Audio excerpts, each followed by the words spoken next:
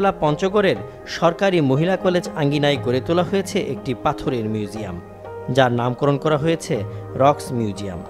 সম্পূর্ণ নিজস্ব উদ্যোগে ও পরিকল্পনায় এই কলেজের সাবেক অধ্যক্ষ ডক্টর নাজমুল হক মিউজিয়ামটি গড়ে তুলেছেন। নিজের চেষ্টা আর অর্থে তিনি উনিশশো সাতানব্বই সালের পহেলা মার্চ মিউজিয়ামটির যাত্রা শুরু করেন। তার ধান খেতে দুইটা বড় বড় পাথর আছে এবং একটা পাথর এক টনের মতো হবে আর একটা এক টনের আরও বড় হবে। তো এই বলা যে এই পাথর দুটো যদি আমরা নিয়ে আসি, তাহলে কিন্তু আমরা এখানে একটা দর্শনীয় বিষয় হিসাবে এটা আমরা করতে পারব মানে দেখাতে পারব। তো সেটা কিন্তু সহজে আনা সম্ভব হয়নি। আমার যে যারা কর্মচারী ছিলেন, তাদের মধ্যে আমি একটা প্রেরণা সৃষ্টি করতে সক্ষম হয়েছিলাম যে পাথরগুলো আসলে আমাদের কলেজের জন্য একটা মর্যাদা সৃষ্টি করবে, তারপর এগুলো তো নষ্ট হয়ে যাচ্ছে। বা অনেক সময় দেখা যায় কি, পাথরগুলো ওই সড়ক নির্মাণের কাজে বা ব্রিজের কাজে কিন্তু পাথরগুলো গুঁড়ো করা হয়। তো ওই চিপস করা হয় আর কি। তো সেটা হলে তো পাথরটা তো নষ্ট হয়ে যাবে। তো এই কারণে আমি বললাম যে এগুলো আমাদের সংরক্ষণ করতে পারলে ভালো হবে। পরে জাতীয় জাদুঘরের পরিচালক শামসুজ্জামান খান ও আমেরিকার ইন্ডিয়ানা বিশ্ববিদ্যালয়ের প্রফেসর হেনরি গাসিয়ে মিউজিয়ামের ফোকলোর ও জাতিতত্ত্ব বিভাগ এটি উদ্বোধন করেন। সাহিত্যের লোক হয়েও প্রত্নতাত্ত্বিক এবং ভূ ও খনিজ পদার্থের গবেষক হতে নাজমুল হকের আগ্রহ একটু বাধা হয়ে ওঠেনি। এখন উচ্চতর শিক্ষা ও গবেষণার প্রতিষ্ঠান হিসেবে ব্যবহার হচ্ছে এ জাদুঘর। পঞ্চগড় শহর থেকে তিন কিলোমিটার দূরে লাঠুয়াপাড়া গ্রামে মহিলা কলেজের কর্মচারী তবিবুর রহমানের জমিতে পড়ে থাকা দুটি বিশাল আয়তনের বেলে ও গ্রানাইট পাথর সংগ্রহের মাধ্যমে নাজমুল হক শুরু করেন এই জাদুঘরের কাজ। এই মিউজিয়ামটি মূলত গবেষণার কাজে খুব উপযোগী। বিভিন্ন ক্ষেত্রে যারা পিএইচডি ডিগ্রি করেন, ইতিহাসের উপর, ঐতিহ্যের উপর, তাদের এটা গবেষণার একটা স্থানে পরিণত হয়েছে। এখন পর্যন্ত আমার দেখা মতো আমি জানা মতে দেশের বিভিন্ন বিশ্ববিদ্যালয়ে যারা গবেষণা করছেন এনারা প্রায় এখানে আসেন। বিদেশে অনেক পর্যটক এখানে গবেষণা কাজে আসছেন এবং তারা এখান থেকে অনেক তথ্য সংগ্রহ করে নিয়ে গেছে। আমি উদ্যোগ নিয়েছিলাম যে প্রতিটি রক্সেরই আলাদা আলাদা বৈশিষ্ট্য দিয়ে একটা ই তৈরি করার। এটা এখন পুনঃ করতে পারিনি।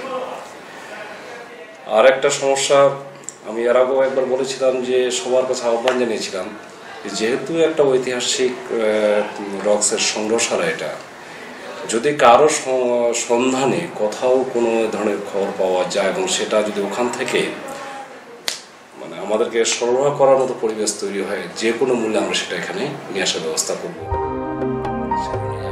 মাত্র দুই বছরের মধ্যে তিনি গড়ে তোলেন দুর্লভ সংগ্রহের একটি জাদুঘর। অধ্যক্ষ হিসেবে কলেজ পরিচালনার দায়িত্ব পালনের ফাঁকে ফাঁকে তিনি কোনো সহকর্মীর মোটরসাইকেলে চড়ে চলে যেতেন প্রত্যন্ত অঞ্চলে।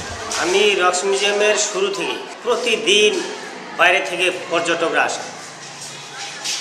ভালো ভালো মেহমান আসে এবং প্রধানমন্ত্রী শেখ হাসিনার যে পিএস উনিও এসে এই রক্স মিউজিয়াম দেখে গেছে।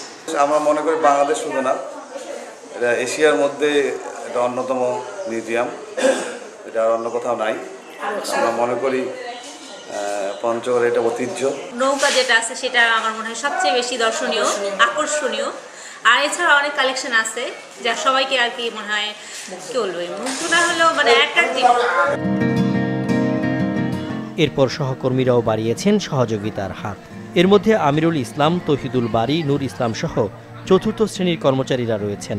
এই জাদুঘরে সংগ্রহীত শিলা বা পাথরের মধ্যে শুধু কোটি বছরের ভূতাত্ত্বিক বৈশিষ্ট্যসম্পন্ন বিশাল আয়তন প্রস্তরখণ্ডই নয়, বরং হাজার হাজার বছর পুরনো ঐতিহাসিক, নৃতাত্ত্বিক ও প্রত্নতাত্ত্বিক প্রস্তর সংগ্রহ রয়েছে বিপুল পরিমাণে। এছাড়াও রয়েছে এ অঞ্চল থেকে সংগ্রহীত কয়েক হাজার বছর বয়সী বিভিন্ন নিদর্শন ও জাতিতাত্ত্বিক উপকরণ। কিছু কিছু পাথরের চোখ আঁকা আছে, তারপর তীর ধনুক আঁকা আছে, তারপর আপনার ইয়ে আছে মানে পদ্মফুল আঁকা আছে। তো এগুলো হচ্ছে আমাদের অ্যান্থ্রোপোলজিক্যাল দৃষ্টিকোণ থেকে এগুলো হচ্ছে আমাদের যে আদিবাসী যে ঐতিহ্য আছে সেগুলো প্রতীক। মিউজিয়ামটি দুই ভাগে বিভক্ত।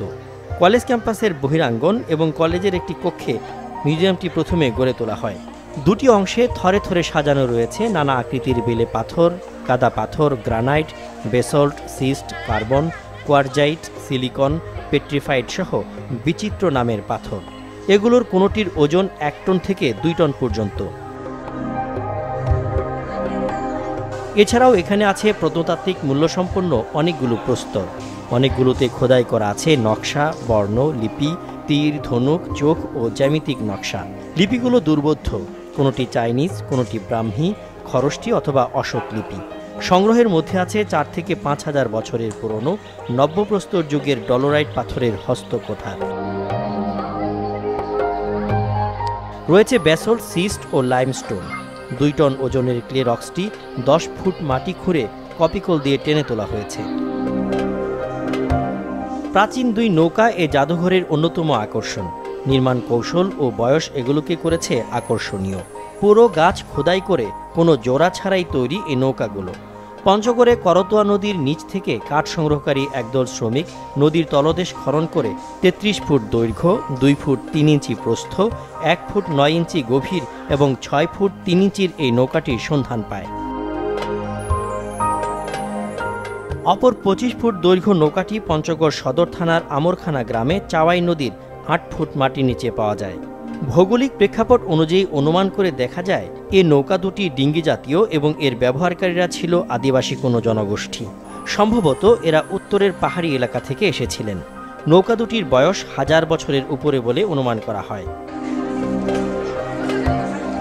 দীর্ঘদিন ধরে এসব প্রত্নতত্ত্ব নিদর্শন সংরক্ষণের অভাবে নষ্ট হতে যাচ্ছিল।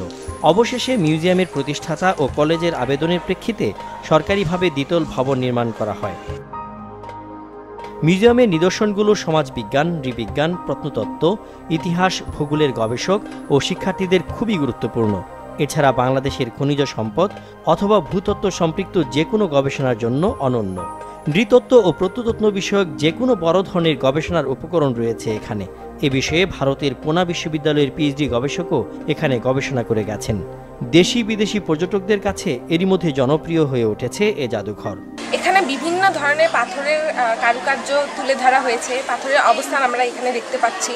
কিন্তু এখানে একটি সমস্যা হচ্ছে জিনিসগুলোকে অনেক সুন্দরভাবে ফুটিয়ে তোলা হচ্ছে না। যেহেতু রক্স মিউজিয়াম অন্য কোথাও নেই সেহেতু সেহেতু এটাকে আমরা আরও সুষ্ঠুভাবে মানুষের সামনে তুলে ধরতে চাই। বাইরে থেকে মানুষ দেখতে আসলেও এখানে মান আমরা খুব ভালোভাবে সেটাকে তাদের সামনে প্রেজেন্ট করতে পারি না। ভালো করে প্রেজেন্ট করতে পারি না যার যার জন্য এটা হচ্ছে ঠিকভাবে গোছানো নেই বা এটা একটু সংরক্ষণের একটু অভাব রয়েছে। ইতিহাসের অনন্য এক সংগ্রহশালা পঞ্চগড়ের রক মিউজিয়াম। কিন্তু সরকারিভাবে এখনও এর স্বীকৃতি মেলেনি। এই জাদুঘরে সংগ্রহীত প্রত্নতাত্ত্বিক এসব নিদর্শন সংরক্ষণের জন্য যথাযথ ব্যবস্থা নেওয়ার দাবি জানিয়েছেন স্থানীয়রা।